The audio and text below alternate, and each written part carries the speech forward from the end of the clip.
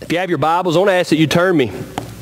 Join me in Galatians chapter 1 this morning, verses 10 through 12, where, we'll be as we continue our journey through Galatians. This morning, we find ourselves in a spot in the text that really talks about people pleasing. And this morning's sermon title is The Pitfalls of People Pleasing. Let me ask you a question. How many of you remember or know Sally Fields? How many of you? Let me see your hands this morning. Sally Fields. She's won a, a, a, few Oscars. In the early part of her career, she had won an Oscar, and she really didn't feel appreciated by that, that Oscar that she had won. But in 1984, she won a second Oscar, and it was for a movie that was titled Places in the Heart. And she gave a memorable speech as a result of this Oscar. I want to share with you, I want to quote her uh, this morning as it talks about uh, her career and her need for approval. Let me share with you. It says, I haven't had an orthodox career. I haven't let me, let me start over. I haven't not had an Orthodox career. I've wanted more than anything to have your respect. The first time I didn't feel it. But this time I feel it. And I can't deny the fact that you like me. Right now, you like me. Many of us, I think, like Sally Field, need that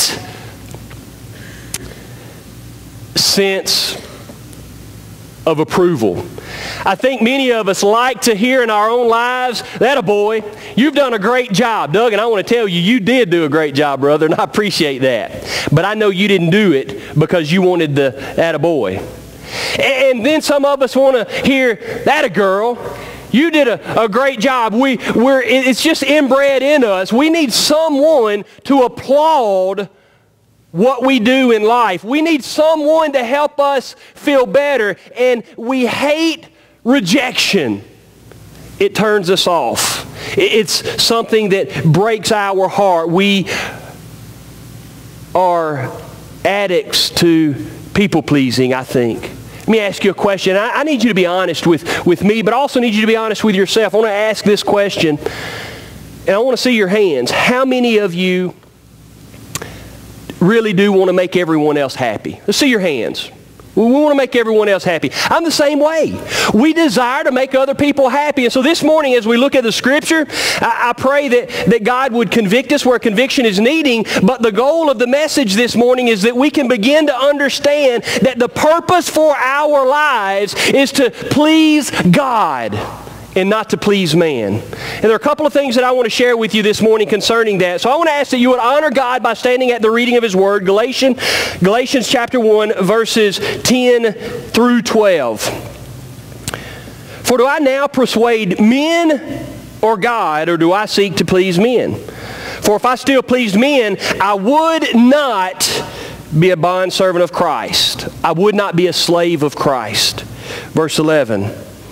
But I make known to you, brethren, that the gospel which was preached by me is not according to man, for I neither received it from man, nor was I taught it. But it came through the revelation of Jesus Christ. We pray with me? Father in heaven, Lord, today, in the mighty name of Jesus, we come before your throne of grace and we begin to praise you even now.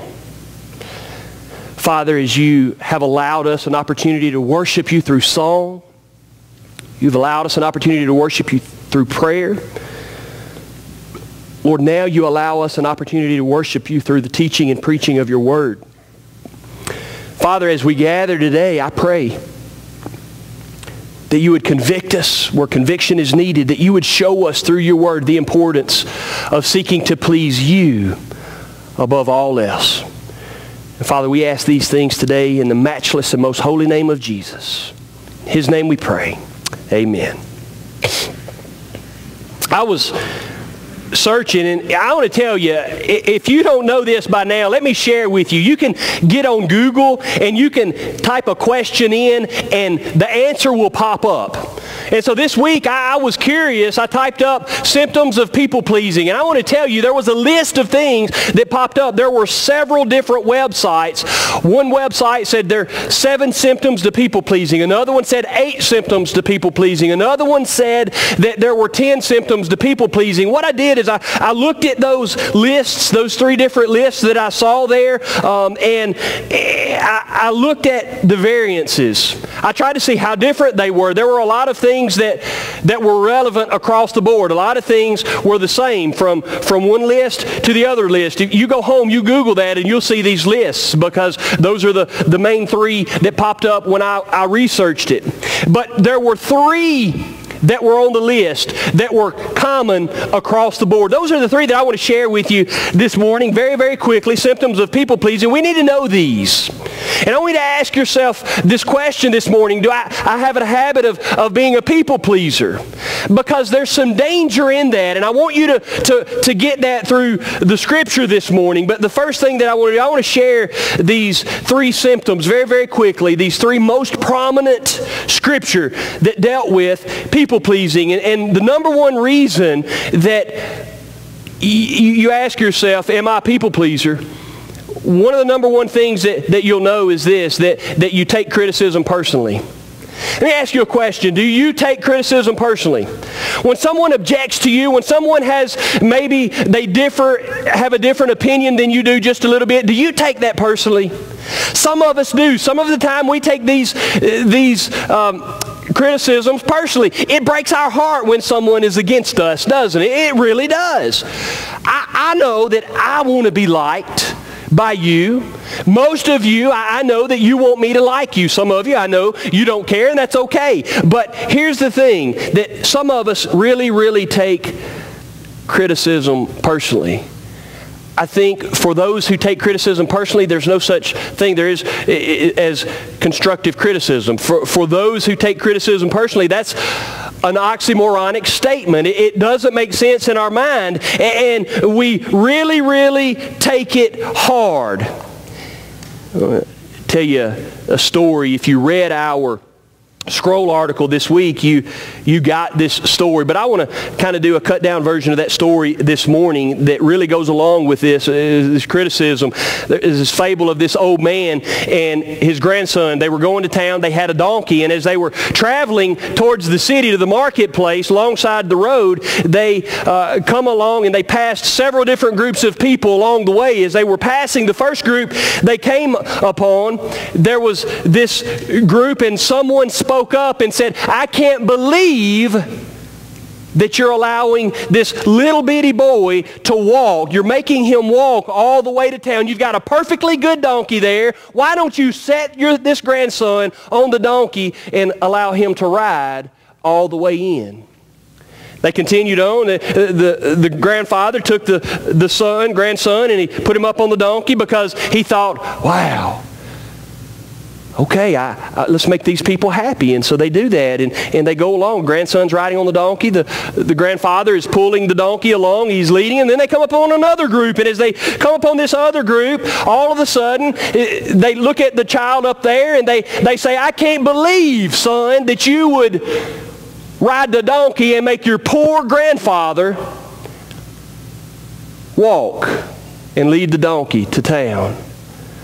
Grandson looked at the grandfather. Grandfather looked at the grandson. They thought for a minute and the grandfather said, son, why don't you get on down? And then the grandfather got on the donkey. They continued to walk, and as they were walking, they came upon another group, and they came upon this group, and they said, uh, why in the world would both of you not ride on that donkey? Isn't that what donkeys are for? They're to carry your burdens, and you're having to walk into town. So why don't both of you ride the donkey? And so the old man looked at the grandson, and he said, come on up here with me, son. And he picked him up, and he placed him in front of him on the donkey. By this time, this donkey is getting wore out. It's coming on into the market and it's carrying the load of both of them. They pass one more group and this other group, they come along and they say, I can't believe that you two are burdening that donkey with your weight. Why don't you both get off of that donkey and walk him into the marketplace so that he won't wear, wear, it, wear it out? So they did. They both got down. They thought to themselves, well, how can we keep from burning the donkey? So they got a pole, they tied the pole around the donkey's legs, they, they picked the donkey up, they carried it on the shoulders, but the weight was too much for the little boy. And as they began to carry this donkey, the little boy, they were on a bridge at this point, the little boy dropped his end. When he dropped his end of the pole, the donkey's leg come out, and then it began to kick, and as it began to kick, it began to sway a little bit and ended up into the river, and the donkey drowned. And sometimes that's the dangers that we face with trying to please everybody. I'm going to tell you, it's a proven fact. By the time you please this person, somebody else is going to be upset because you didn't do it the way they wanted you to do it. And you can never be satisfied internally. You can never be self-satisfied because you're always taking that personal criticism the wrong way. And you can never get anything done. And so uh, that's the first thing. You take personal criticism personally. You take criticism personally. Number two is this. You have a fear of rejection. I don't know about you, but I really do have a, a fear of rejection. Every week when I get up here to preach, I'm telling you, I pray a, a, a, specific prayer, Lord, remove the spirit of fear and timidity.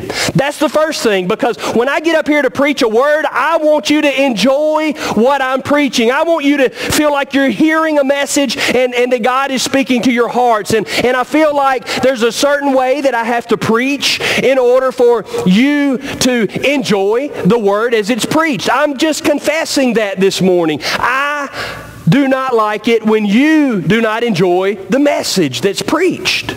I don't. I feel rejected. I feel like you have something against me for whatever reason. And, and it's not a, a good place to be. We, it's like standing in, in front of the American Idol judges, and I'm going to tell you, I can't carry a tune in a bucket with a lid on it. Some of you know that. Others don't want to know that. But I feel like I'm standing up there and the old dog man himself is just going to look at me and he's going to say, dog, why are you even up here? And, and I feel like I'm always being judged. You ever felt like that, that you're always being judged by someone else? You, you ever felt like there's someone always looking at you and they're, they're scrutinizing every single thing that you do? Have you ever felt like that as an individual? It's, it's not an enjoyable place to be. And there's that, that fear of rejection. We, we do not enjoy being rejected. In the, the book titled The Search for Significance, Robert McGee wrote this. Listen, he said, living according to the false belief that I must be approved by certain others to feel good about myself causes us to fear rejection confirming virtually all of our attitudes and actions to the exception or to the expectation of others. Eh, are you guilty of that? Is there there's some part in your life where you just absolutely you you can't stand the thought of someone else rejecting you. And so in our lives we we want to please everyone and there's some dangers to that. And then the third thing quickly this morning as we continue on talking about these symptoms for people pleasing. And, and the third thing is this, that you have a hard time saying no. I want to see a show of hands this morning. Be honest with yourself and, and with me. How many of you, when someone comes up to you and asks you to do something, how many of you have a hard time saying no? Yeah. Why? Why? Sometimes we don't feel like it, do we? Sometimes we, we don't want to say yes, but we do because we don't want to feel rejected. Because we don't want someone to be mad at us. That personal criticism, we feel like in our hearts, well, they're going to criticize me now because I said no. And so we say yes. And then we kind of limp through whatever it is they've asked us to do instead of really taking a hold of it with a passion and with a heart of service and do it the way God wishes that we would do it. And so we, we say no. Give you an example of this. I think this is such a great example. How many of you have dogs? Yeah. Do you know your dog is a people pleaser? When you go in the room and you call for your dog, what does that dog do? It runs right to you, most of them, right? Most of those animals, they run right to you and, and they're sitting there at your feet and, and they're, you're petting their head and they're just really, really enjoying that you're uh, uh, showing them attention. They're licking and slobbering all over you. They're trying to show you affection because their greatest desire is to please you, their master.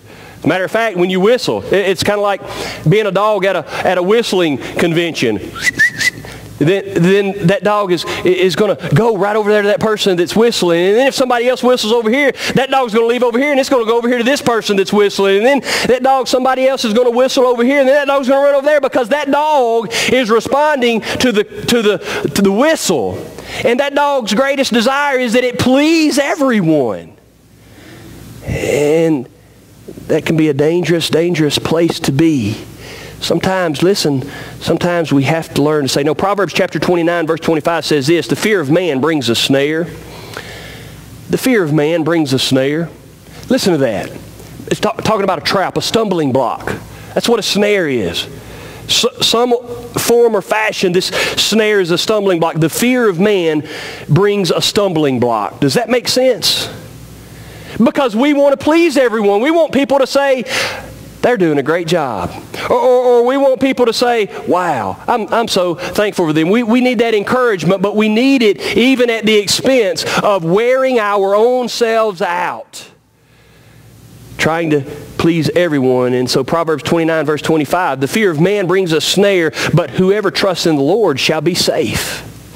I love that.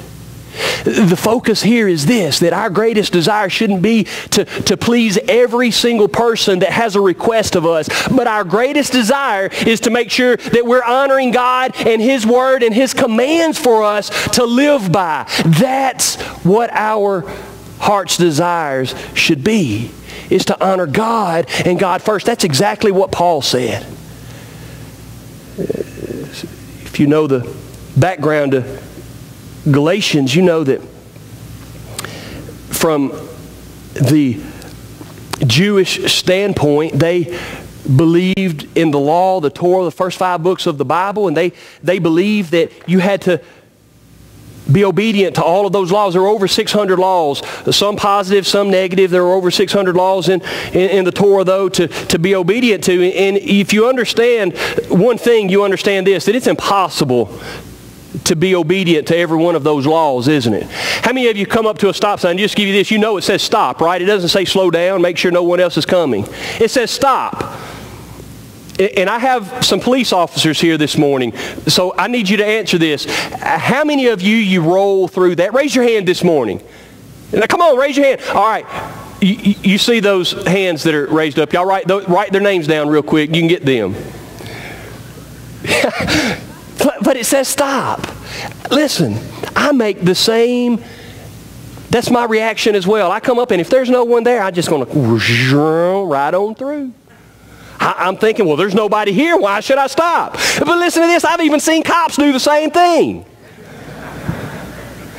It's impossible to, to be obedient, completely obedient. But the fear of man brings a snare. But whoever trusts in the Lord shall be safe. And then any of you, you remember this story about Jesus being crucified and he's there before Pilate and, and the crowd and Mark 15 verse 15 says this, so Pilate wanting to gratify the crowd released Barabbas to them and he delivered Jesus after he'd scourged him to be crucified. The people were there in the crowd and, and they were jeering. They were shouting, Crucify him! Crucify him! Crucify him! Release Barabbas! Release him! We want Bar- Barabbas to be released! Crucify Jesus! They were yelling it. They were shouting it. And Pilate wanted to please the people instead of please God. And what did he do? He released a murderer and a thief. And he crucified the King of Kings and Lord of Lords. I just wonder how many times we've been guilty of doing that very same thing in our lives. And so there's one thing uh, that I want to share with you this morning. This is point two, and it's seek God's approval instead of people's applause. We've got to learn how to do that. You've got to learn how to seek God's approval instead of the applause of man. And quickly, there are two things that I want to share with you because I, I, feel like we, we need to get this. We need to understand this. We, we need to be able to apply this to our hearts this morning. And, and so this is what Paul said in verse 10. He says, Do I now persuade men? Rhetorical question. Or God? Do I now persuade men or God? There was a time in Paul's life when his greatest desire was to please the people. And the people wanted to see the church of Jesus Christ destroyed. The people, the, the, the Pharisees, they wanted to see the church destroyed. And so Paul went around from church to church. He came, he knocked on the doors, and as he knocked on the doors, the people would open the doors as they worshiped Jesus. He would come in and he would ask them, are you worshiping Jesus Christ? And if they said yes, they put them in handcuffs. They took them out. They stoned them. They, they crucified them. They did all of those things. And Paul was the greatest offender of the gospel of Jesus Christ at that point. But something changed in his heart, something changed in his life because one day, literally while he was in the process of trying to destroy the church, that he met King Jesus face to face. And he's walking on the road to Damascus, and he's walking on the road to Damascus. Jesus himself appears to him, and he sees him. And it's a, a, testimony that Paul, at that point, from that point on, he was willing to die for Jesus. Because the question was asked, why do you kick against the goad? Why do you kick against something? Why do you fight against something that you know you cannot defeat? Why are you fighting and fussing about something that you know you have no control over? That's what Jesus asked God. Jesus asked Paul. He was blinded from the glory of Lord Jesus. He was blinded by that, that experience, that encounter, and it changed his life forever. And from that point on, and if you know anything, you know that this was the first letter that, that Paul had written. And, and he's, he really, at this point, he doesn't exactly know how to talk to people. He doesn't exactly know how he's supposed to respond to things. And, and so as we talked about this last week, he said this. He said, I marvel, I'm amazed that you are turning away so soon from him who called you in the grace of Christ to a different gospel, which is not another. But there are some who trouble you and want to pervert the gospel. They wanted to distort, they wanted to change the gospel of Jesus Christ. And we learned last week that Paul said, and if we or an angel from heaven preach another gospel of which there is no other, let him be accursed. Anathema was that word, and it literally meant cursed to hell. He said, if we're doing it, or if an angel from heaven, a messenger of God, is preaching anything other than Christ and Him crucified, then let him be accursed to hell. That's a strong statement. And then he repeated it because he needed it to be emphasized. And as he did that, then he goes on and he starts this, and then he says, For do I now persuade men or God? Or do I seek to please men? For if I still pleased men, I would not be a bondservant of Christ. At this point, because he saw Jesus on that road to Damascus, he now is a slave of Jesus Christ, and as a bondservant, his greatest desire was to honor Jesus with every step that he made. He wanted to please God. No longer did he want to please the masses. He had one focus, one ministry in mind, and that was to tell people about the gospel of Jesus Jesus Christ, and if it cost him his life, he was going to be obedient to preach and proclaim the good news. And he did that. Day after day, week after week, month after month, year after year, until it was time for Paul to go finally meet Jesus face to face in heaven. And so, two things quickly I want to share with you. Seek God's approval instead of people's applause. Two things quickly. Number one is this serve God without any desire for recognition. Serve God without any desire for recognition.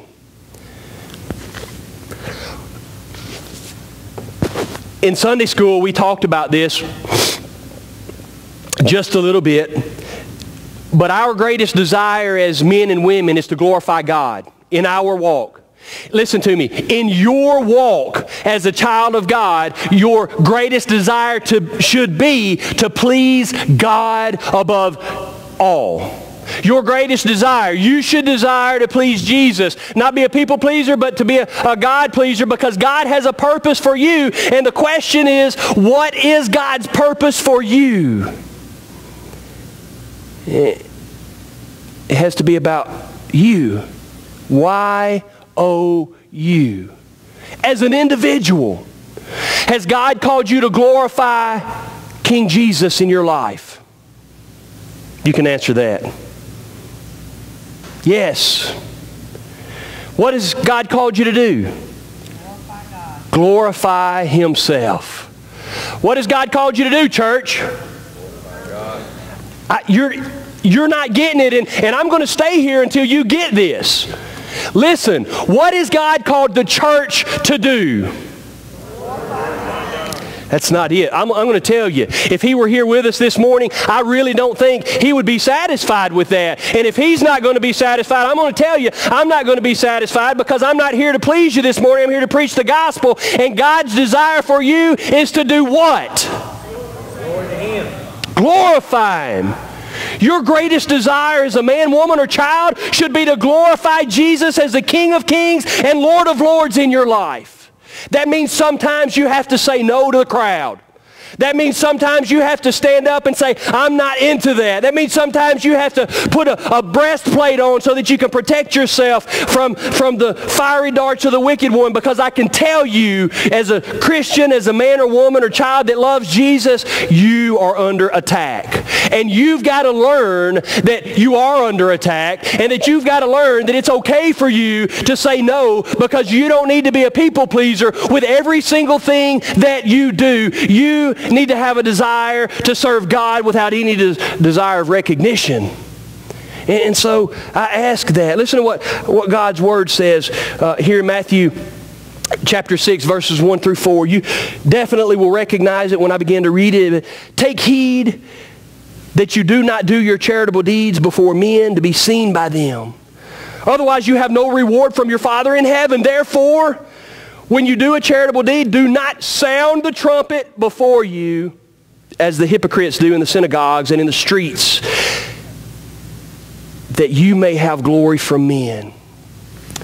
We're guilty of that.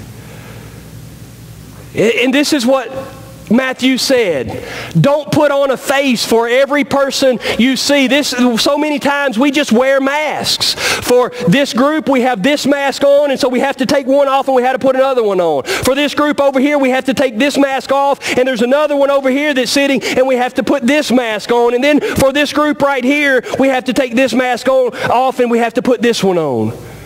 We we change our minds so many different times because our desire isn't to please God. Our desire is to please everybody else. And he said, therefore, when you do charitable deeds, do not sound a trumpet before you as the hypocrites do in the synagogues and in the streets that you may have glory from men. Assuredly, I say to you, they have their reward. But when you do a charitable deed, do not let your left hand know what your right hand is doing, that your charitable deed may be in secret, and your Father who sees in secret will himself reward you openly. I love that. Because God sees your heart. God sees your heart. Do you get that? God sees your heart. Before you entered into the sanctuary this morning, you need to know that God looked at your heart. God wanted to know if you were coming in here to worship Him or if you were coming in here to please people or if you, He, he, he knows exactly why you're here this morning. And so the question is this, why are you here? In spirit and in truth. Thank you. To glorify God in spirit and in truth. When we get that, it is not about us. God can radically change our world. when we begin to ha- have an epiphany, when we see the light go off, when, when we experience God in a, in a brand new way, there, there's a, a moment in our life where we transition from being this person to being a man or a woman who seeks to bring honor to Jesus Christ in every decision, every step that we make. And that has to be you. That has to be your outlook look in life. You. And then when it's you individually, then it will become us collectively. And then when it becomes us collectively, can I tell you, at that point, we will be able to charge hell with a water pistol because the victory has already been won when we as a church make our mind up that we want to glorify King Jesus. And so we've got to get that. You don't deserve the accolades. You don't deserve the praise. I don't deserve the accolades. I don't deserve the praise. But my King Jesus does. There's a poem I want to read. Powerful, written by Ruth Harms Calkin. It's entitled, I Wonder. This is what she writes. Listen to this. You know, Lord, how I serve you with great emotional fervor in the limelight. You know how eagerly I speak for you at the women's club. You know how I effervesce when I promote a fellowship group. You know my genuine enthusiasm at a Bible study. But how would I react? I wonder if you pointed me to a basin of water and asked me to wash the calloused feet of a bent and wrinkled old woman day after day, month after month in a room where nobody else saw me. That's powerful. How would you respond? Because some are never getting the applause of men but they serve their Jesus faithfully day after day. Some are getting the applause of men, and the only time they serve him is in the, the view of spectators. But the question is, do you deserve the accolade? Or when somebody is praising you, do you just say, okay, Lord, here it is. You receive that. Eh, somebody says, good job, I, I try. I try. I'm, sometimes I'm sure I'm guilty of, of just receiving it myself. But when somebody says, good job, preacher, I'm telling you, I try and just say, Lord, glory to you. If you've asked me, you know you've heard me say that. Praise God. Or thank you.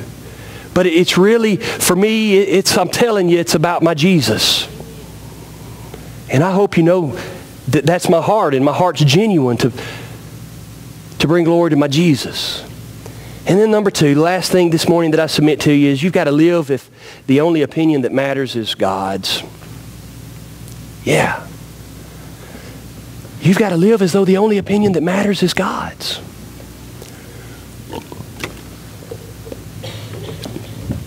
How many of you do that? Do you live as though the only opinion that matters is God's? I don't mean being sarcastic. I don't mean being pompous. I don't mean being upfront in somebody's face. No. But I do mean, do you live your life? Do you make your decisions based on glorifying King Jesus? Do you make your decisions in life as though God were the only one that mattered? Is that a valid question or what? It is, isn't it? And so you have to answer that for yourself. And so 1 Corinthians chapter 4, verses 2 and 4 says this. Moreover, it is required in stewards that one be found faithful. But with me, it is a very small thing that I should be judged by you or by a human court. In fact, I don't even judge myself, for I know of nothing against myself, yet I am not justified by this but he who judges me is the Lord. Whew. Judge not, lest you be judged. He who judges me is the Lord. You can talk about me. You can spit at me. You can jeer at me. You can be sarcastic and cynical. And I'm telling you, I can do those things just as well as anybody can. But I have to stand before the judgment seat of Christ one day. And I have to give an account for my actions. And you, you have to stand before the judgment seat of Christ one day. And you, you have to give an account for your actions. What will that day be like for you? What will that day be like? Here's a, a good verse. Write this down. Isaiah 49, verse 16. I want you to know how much God cares about you. And it says that he has engraved you on the palms of his hands. You. God has engraved you on the palms of his hands. God wants to know you. God cares about you. God's desire is to work through you. And he has you engraved on the palms of his hands. And that means that it's about a relationship with him. To please him. And then one more verse. Well, I didn't write it. I didn't write the, the scripture verse down, but it, it's this. He, he has even numbered the hairs on your heads. You know, God knows that, right? Doesn't he? God knows you so intimately, and God desires that you know him so intimately. And, and God's desire for you is, is that you would stop trying to please everyone else because when we begin to do that, we stretch ourselves so thin, don't we? And then we feel like there's that tug of war. You remember a few weeks ago, I talked about that just a little bit, that spiritual battle. There's, there's this over here, and then there's this over here, and we feel like there's this battle, and, and we're just being stretched so thin, and there's this group over here, and we desire to please them, and so we say yes. And there's, this group over here, and, and we're pulled and stretched over to this direction, and, and we say yes. And then there's this group right here, and we're, we're stretched right here in the middle, and, and we say yes. And reality is that we cannot say yes to them, them, and them because at that point there becomes no work. You're too weak to do the work that you vested in. And so what is it that God is calling you to? What, what specifically is it that God desires of you? Understand the pitfalls of, of people pleasing. Understand that you have to learn to say no. Understand that, that it's okay for you to be re- rejected by someone because your greatest desire should be to please God and not man. And so I want to ask you this morning, are you like the old man who's taking his donkey into the market? He takes this donkey and every group that he and his grandson pass, he feels like he's supposed to please them. And then in the very end, what happens is they get on the bridge of the market and they're carrying the donkey themselves. And the workhorse loses its footing as it's being carried on this pole and it falls into the river and drowns. Is that you?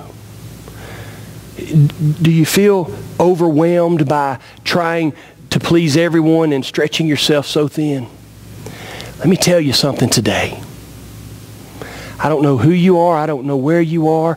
But Paul said this, am I here to please men or am I here to please God? Now sometimes understand this. Sometimes pleasing men is pleasing God. Sometimes it is. Sometimes it is. But when you find yourself in the middle being pulled in all different directions, you have got to ask God the direction he wants you to be pulled. I'm going to ask you to pray with me this morning. Father in heaven, Lord, today in the mighty name of Jesus, we just want to come and we just want to thank you for being Lord in our lives. And Paul said to the Galatians, he said it didn't matter what the world says, that he was going to please you. And in order for him to please you, that meant that he had to go against the flow of things. And that meant that he had to take a stand. And that meant that he had to say that I'm not here to please men, but I'm here to please God. And Father, I pray today as your word goes forth that it'll not return void. I pray that our greatest desire is, is about your kingdom and furthering your kingdom. And Lord, that might look a little bit different in all of our lives. But Father, I pray that as the world takes hold of our arms and it begins to pull us in so many different directions, that you would allow us to experience your peace, that you would allow us to experience your grace, and that you would allow us the wisdom to come to you and say, okay, Lord, I'm being pulled in all of these different directions, but today I want to know the direction you want me to go. And Father, I pray that you would burden our hearts today, that we would truly begin to seek you. Father, I, I don't know this morning if there's even one person here who, who hasn't trusted King Jesus as Lord and Savior. So, Father, I ask that today, as you've spoken to our hearts about the pitfalls of people pleasing, Lord, I, I pray that, that the one thing that we would begin to do is seek to please you. And if there's even one person here who is lost, who doesn't know Jesus as Lord and Savior, this is one of those moments where it will please the congregation, but Father, even most importantly, it pleases you. When someone who does not know you confesses their sin to an almighty God and asks Jesus to be Lord of their lives. And so, Father, I pray today if there's even one lost soul here, if there's even one person who does not know Jesus as Lord and Savior, that today would be the day of salvation. And Father, we just want to thank you for your word and its power. And we praise you today. In Jesus' name, amen. I want to ask you to stand this morning as we have an invitation. You stand. What is it that God has laid on your heart today? You come. What do you need to, to leave at the foot of the cross? You come today. You come.